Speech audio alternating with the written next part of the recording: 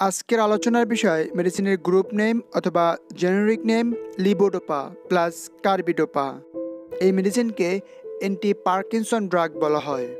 Indication আর নির্দেশনা অথবা কি কি রোগের জন্য এই মেডিসিনটি দিয়ে থাকে।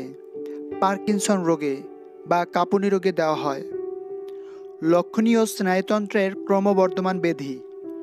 তার ভিতরে রয়েছে দুর্বলতা, বিষাদগ্রস্ত মাংসপেশি শক্ত হয়ে যাওয়া, ভারসাম্য রক্ষায় অপারদর্শিতা, ব্যালেন্সের অভাব, ফলে মাঝে মাঝে মাটিতে পড়ে যাওয়া, হাঁটা চলার ধরন পাল্টে যাওয়া, ধীরগতিতে চলাফেরা, হাত পা কাঁপা এবং চোখের পাতায় কম্পন, বিশ্রামের সময় মাথা কিংবা হাতে মৃদু কম্পন অনুভব করা, বিভ্রান্তি এবং স্মৃতিশক্তির বিলোপ।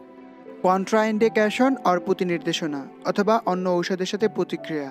এই মেডিসিনটি গ্রহণকালীন সময় কিছু ঔষধের সাথে প্রতিক্রিয়া দেখা দিতে পারে। মেডিসিনের generic name, haloperidol, pyridoxine, diazepam, oxazepam phenobarbitone ইত্যাদি। সতর্কতা, যাদের কার্ডিওভাস্কুলার অথবা পালমোনারি ডিজিজ রয়েছে, ব্রঙ্কিয়াল অ্যাজমা, রেনাল লিভার ও হরমোন সংক্রান্ত রোগ, এবং পেপটিক আলসার রয়েছে, তাদের ক্ষেত্রে সতর্কতার সাথে মেডিসিনটি গ্রহণ করতে হবে। ডোজ অ্যান্ড অ্যাডমিনিস্ট্রেশন অর মাত্রা ও ব্যবহার বিধি। কখন কীভাবে এই মেডিসিন আপনি খাবেন?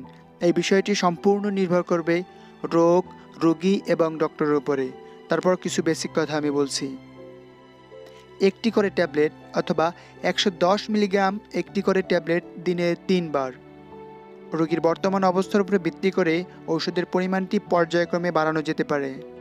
যখন আরও লেবোডোপার প্রয়োজন হবে, তখন একটি করে লেবোডোপার দুইশো পঁচাত্তর এমজির ট্যাবলেট দিনে তিন থেকে চারবার সেবন করতে পারবে। যেসব রোগী আগে থেকেই লেবোডোপা গ্রহণ করছে, তাদের যদি এখন লেবোডোপা এবং কার্বিডোপা দুটিই খেতে হয়, তাহলে অন্তত লেবোডোপা আগের ডোজ আট ঘণ্টা আগেই বন্ধ করে দিতে হবে। সাইড এফেক্ট, অর পার্শ্ব প্রতিক্রিয়া অথবা কী কী উপসর্গ দেখা দিতে পারে? বমি বমি ভাব।